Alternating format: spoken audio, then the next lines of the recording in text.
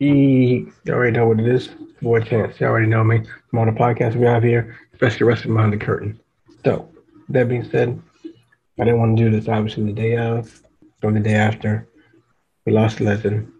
Rest in peace, Scott Hall, aka Razor Ramon. You already know.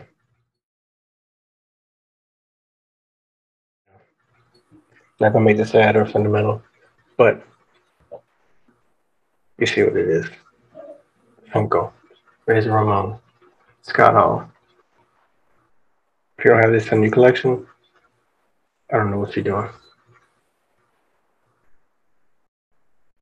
But we'll make it quick. Let's take it out of the box. Razor Ramon. Pull this bad guy. Look at the camera. Chains. The hair. Power Clock Shadow. The knee pass the boots.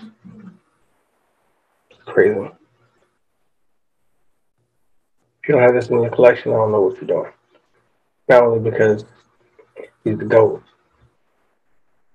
but just look how smooth this looks. You gotta you gotta have this in your joint.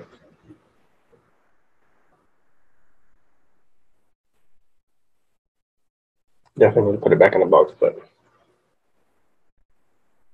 Razor Ramon, let Chico. The bad guy. Rest in peace.